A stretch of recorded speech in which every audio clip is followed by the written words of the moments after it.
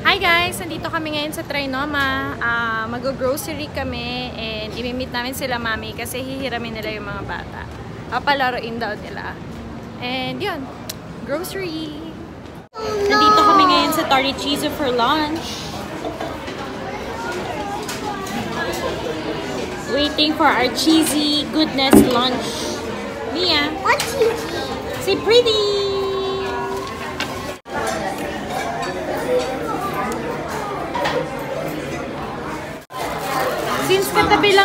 Tori Chizu ang Coco, sa kabila yung Coco, ito na yung drinks namin. Sa akin, panda. Lahat panda pa. Ano yan? Pearl lang siyang. Nagpa-extra ka? Wow, si ate may sarili. Big girl ka na. Ay, wow! ramen. Ramen. Pasensya na po wala po tayong available na ice. Ay, okay Pwede kayong makahingi ng ano, yung powder pa. Oh, yung parang chili powder. Hindi, saka itong ano, seaweed powder. Ay, so, this is our lunch. Chicken. At yan. Chili powder and kurikake. Seaweed. Wow, ito kasi good for sharing na to. Rice to paano na may cheese. Tapos ito, kanino to sa'yo? Nakalaway naman. Wow, ramen in order ko kasi nagkikrave ako sa ramen na.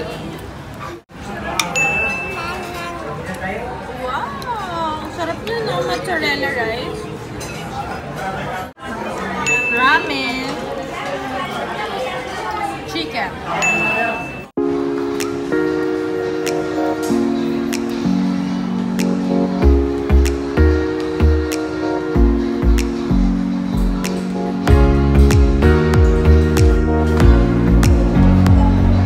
Okay, nandito kami ngayon sa Lego store. Ano sila ngayon eh, sale on sale. Si Papa kasi favorite niya yung Lego. Okay, so, hat or hair, plus accessory, plus head, plus body, plus lower body, equals times 3, 500 talaga niya. Pero ngayon, 200 na lang siya. Yung mga katawan, ganyan yung mga katawan. Hair yan. Ito accessories. Ito yung mga legs. Yes, baby. Why? Ah, ilalagay yung accessories. Dito yung mga iba't ibang head.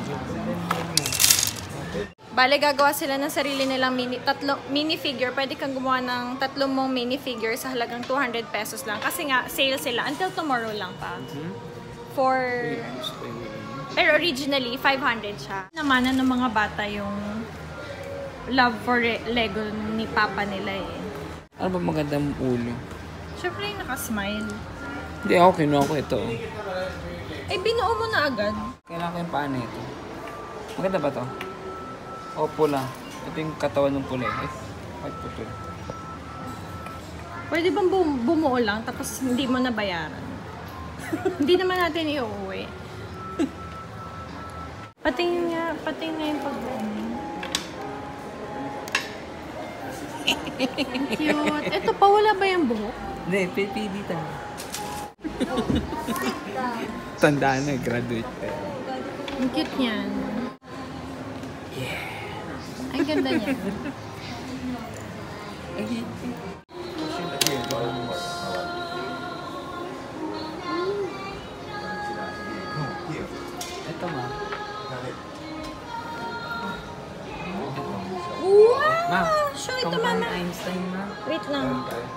ni Einstein yung isa. Ito, Oo gusto ko ito. nga, Asti.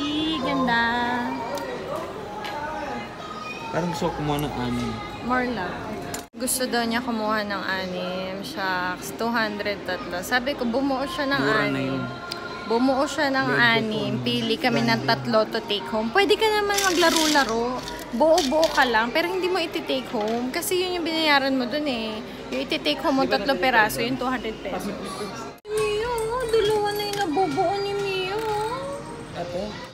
Si Papa. Yan. I'm happy to see him happy. Nabubuhay yung inner child niya. Ang ganda nito, Astig. Ang galing. Imagine nakagawa si Papa from scratch. Pag ganyan-ganyan lang ng ulo, oh. Gaganda.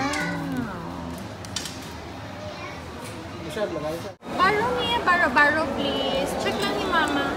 Wow, galing ni Mia. Oh, from scratch niya yan ginawa. And also, can I borrow this one? Can I borrow? Wow! Walang head.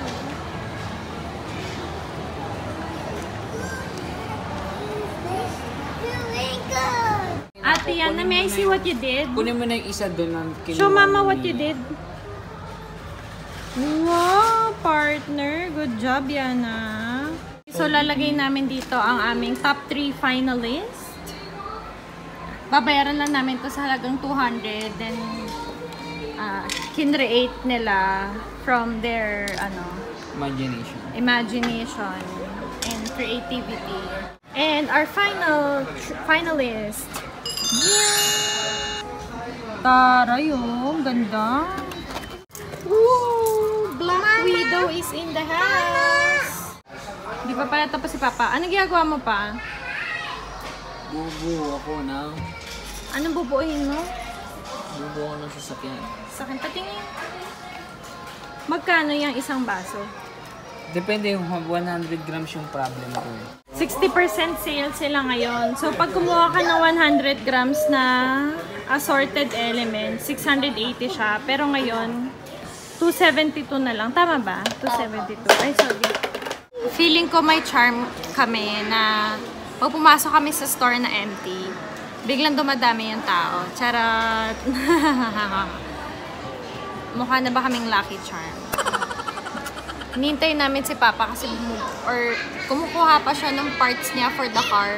Sabi ko sa bahay na namin buuhin. Sana hindi pa niya binubuo ngayon, 'di ba? Pero ewan ko dun. Dito na kami sa Landmark Grocery. So, ah first, eh, mura ang eggs dito kaysa sa palengke. Or not sure, 6 pesos lang lumalabas yung egg. 6.50. So, kukuha tayo. Avocado wala na ngayon sa palengke. Dito, 1 198 per kilo. Pero, ah ito matagal pa to ma-ripe. Pero may option sila dito. Ayan, yung mga medyo ma- ma-overripe na, 178 per kilo na lang. Mura dito, 19.75 lang isang piraso. Sa palengke, 70, tatlo. So, kumuha din ako. Kumuha din ako. Magkahiwalay kami ni Papa ng cart. Kasi gusto rin niya na nasa cart. Tapos si Mia nandyan. Si Mia naman yung nasa akin. Ayan, so bibili lettuce. Hopefully this week makastart na ako ng keto diet. 47 lang. Bell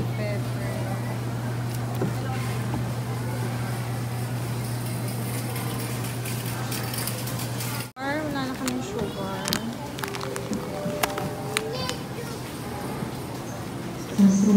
Ayan si Papa, may mga sarili din siyang kuha. May sarili-sarili kaming personal space kasi may kanya-kanya kaming gusto bilhin dito sa grocery. Kaya okay na rin. Tapos pagdating sa counter, sa bayaran, Kanya-kanyang bayaran. kanya-kanyang bayaran. Hindi, eliminate na mga hindi kailangan or kaya mga redundant. Ganyan. Ano pa ba kailangan natin lang? Dito. Guys! Dito kami ngayon sa SM North. So nagla last minute shopping kami para sa mga school. Magmi-mini haul ako mamaya pag uwi. Ah, so for now, ah, merienda time na namin. And may nagbigay sa akin ng voucher, affogato, dito sa SM North, tapat na National Bookstore. And so ito try namin siya. I-avail ko na yung voucher na binigay sa akin. So binigyan ako ng tatlong voucher. Hi pa! Tapos yun na. Okay, so ito yon. Ako jeans.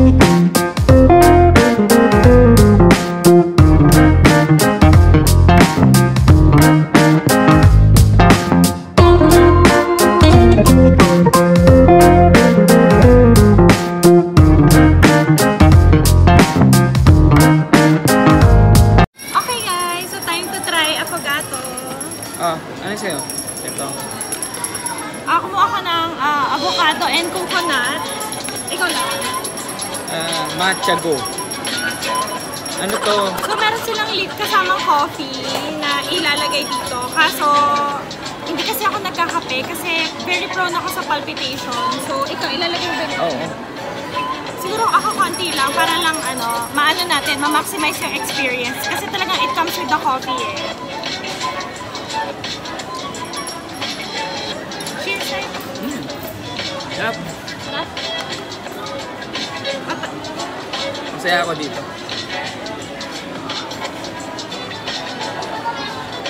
Mm, ang. Sarap. Ang sarap.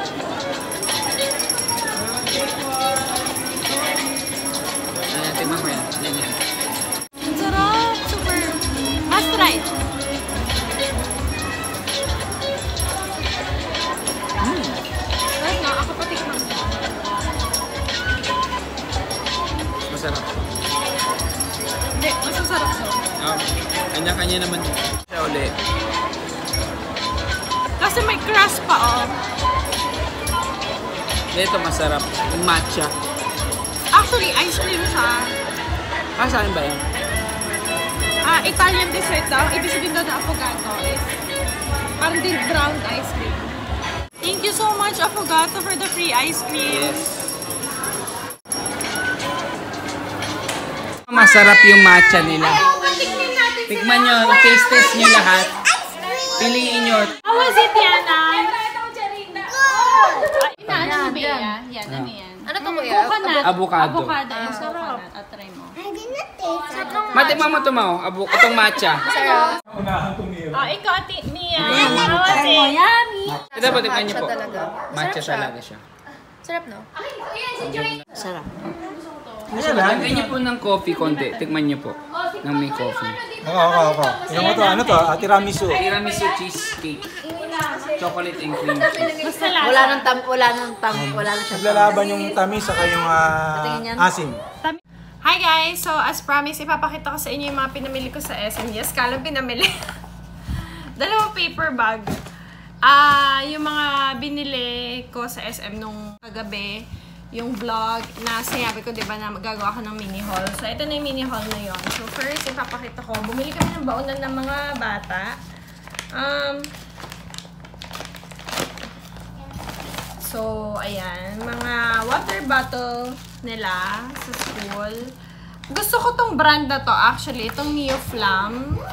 Actually, marami pa silang water bottle sa baba. It's just that ayoko kasi yung feeling na pag iniinuman ko, parang iba yung lasa. So, ito, may option siya na gumamit ng straw and may option na wala. So, baka tanggalin ko na lang yung straw. I'm not sure yet. Siguro ipapatry ko muna sa kanila. We still have two weeks bago magpasukan. Tapos, ito din. So, green and ano to? Ah, red-violet yung binili namin. Ate Yana, which one is yours? Green or red-violet? Okay, so ito din kay Yana, ito yung kay Mia. Yan.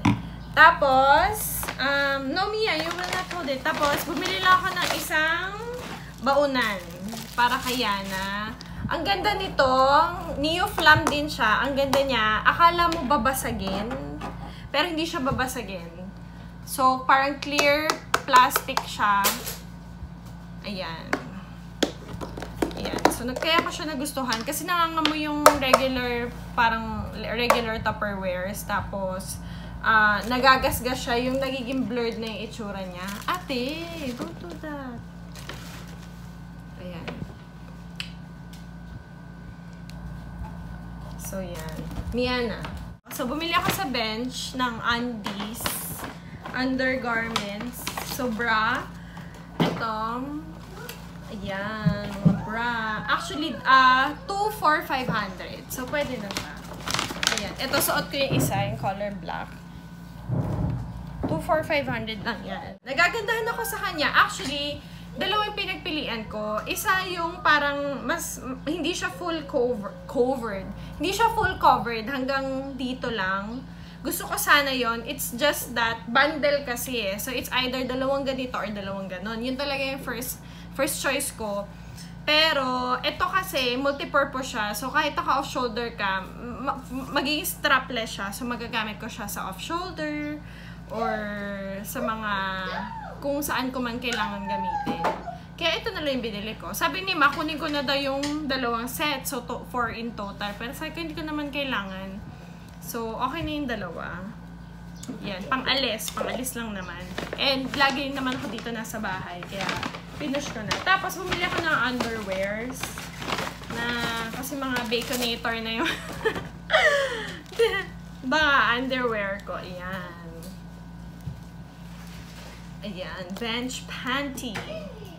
In fairness, I find it affordable sa bench. Dati, before, alam mo yun, bumibili ako lang mga tig 150 lang na bra. Kasi feeling ko sa 500, marami na akong mabibili. Pag sa Quiapo ako bumili, siguro may bra na, may panty na, may pasalubong pa sa mga bata and all that. Pero, na-realize ko, yung mga undergarments, that's something na kailangan mong pag-investan. Kasi yun nga, nade-deform yung, yung, yung foam, ganyan. So, yan. So, pagdating sa pag i-invest sa bra, so, syempre, I, I don't think I will be willing to, ano, to shell out like 2.5 para sa isang bra. Yung mga Triumph, Wacoal, g- yun daw yun eh, mahal daw yun. Yung mga high-end bra, pero worth it, yun talagang tumatagal. Taga nakarinig ako ng maraming feedback na maganda yung Wacoal, tsaka Triumph. Pero pagdating sa low end naman, pero gusto mag-invest, go for Bench tsaka Avon. Yan. Yan yung mga matitibay na will really last for a year. Kaya ayan, yun, yun yung mga na-share ko sa inyo. Sobrang mini haul lang talaga. Thank you so much for watching and see you on my next vlog.